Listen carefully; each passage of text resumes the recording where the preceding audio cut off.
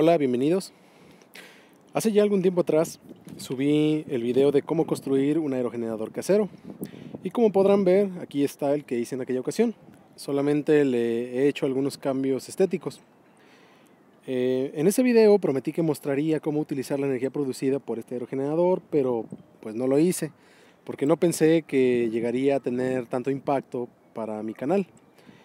Eh, ni creí tampoco que suficientes personas lo, lo fueran a ver como para que les importara la siguiente parte. Así que no le di mucha importancia y seguí con otros proyectos. Pero ahora que ya casi he llegado a los 2 millones de vistas, me siento con el compromiso de mostrarles cómo aprovecho la energía que produce.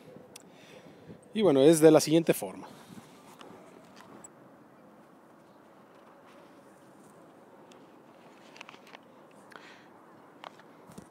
Bien, en primer lugar, el rectificador que utilicé en el video anterior para medir el voltaje eh, no es muy útil ni es un sistema muy eficiente para aprovechar la energía.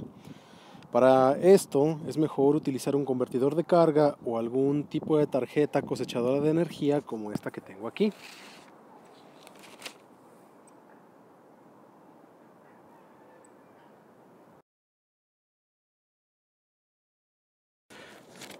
Esta tarjeta fue hecha por mí y está basada en una fuente de poder como la que usan algunos juguetes solares para acumular energía de una fotocelda pequeña y después entregarla. En el video anterior expliqué que el aerogenerador no produce energía constantemente, sino que es una energía pulsante. Esto debido al diseño de las bombas de agua de lavadora, eh, las cuales tienen un eje parcialmente suelto del núcleo y solo gira cada media vuelta del eje. De esta manera, se produce un pulso que va desde un pico de voltaje positivo hasta uno negativo, pero con un espacio de tiempo variable, que dependerá mucho de la velocidad de giro de las aspas. Eh, por esta razón, no es seguro conectar directamente una batería, un cargador o un aparato electrónico, pues podría dañarse o también ni siquiera llegar a un nivel de voltaje lo suficientemente alto como para que haya una corriente de carga.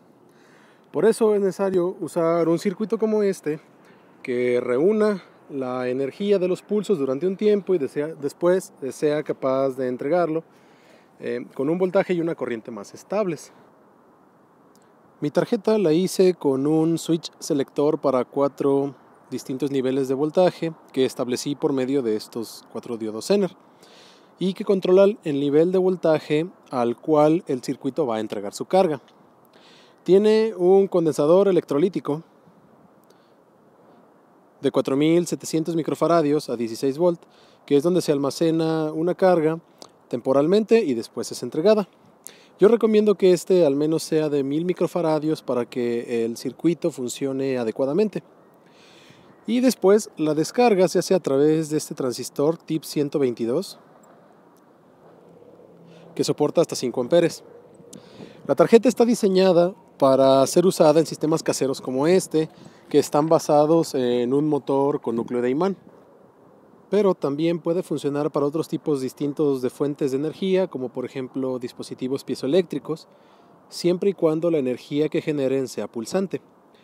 Para sistemas que generen electricidad de forma más regular es necesaria otra clase de circuitos como son los convertidores Book o BOST, eh, como este que tengo aquí,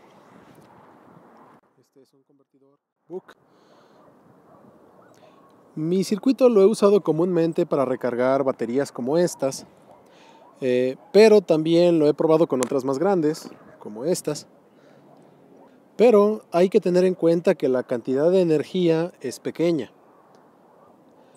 Por ejemplo, para recargar estas baterías que son de aproximadamente 2000 mAh, eh, se requieren aproximadamente 14 horas de estar conectadas y habiendo un viento pues regular, así como este de ahora.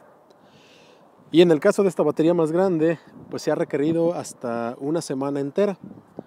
Con esto quiere decir que este aerogenerador es suficiente para recargar un teléfono celular, una tablet o algún foco que sea eficiente como son los focos LED. Y para alimentar aparatos de mayor consumo es necesario buscar un generador más grande que nos entregue más corriente. Este circuito no está diseñado para estar a la intemperie, yo lo saqué el día de hoy solamente para mostrárselos. Eh, este circuito normalmente lo tengo en el piso de abajo de la casa y pues ahí está. El principal reto que presentan estos circuitos es que no tienen forma de detectar cuando la carga de las baterías está completa. Ese trabajo se los dejo al circuito eh, regulador que tienen internamente estas baterías que corta la carga cuando se ha llegado al nivel máximo. Y en el caso de las más grandes, cuando se alcanza la carga completa, pues la corriente en el circuito se desperdiciará y simplemente irá a tierra. Bien, pues básicamente estos son los circuitos que utilizo para este aerogenerador. Eh, con esto no quiero decir que sean los únicos, seguramente que existen muchos otros sistemas que puedan aprovechar la energía de este tipo de aparatos, pero a mi parecer, para un dispositivo de estas características, estos son los mejores que se pueden utilizar. De cualquier manera, les dejaré los circuitos que vimos aquí en la descripción para que ustedes los prueben. Espero que los sean de utilidad para sus propios proyectos y si pudieran mejorarlos, me gustaría que los compartieran. Bien, por mi parte eso sería todo. Muchas gracias y nos vemos.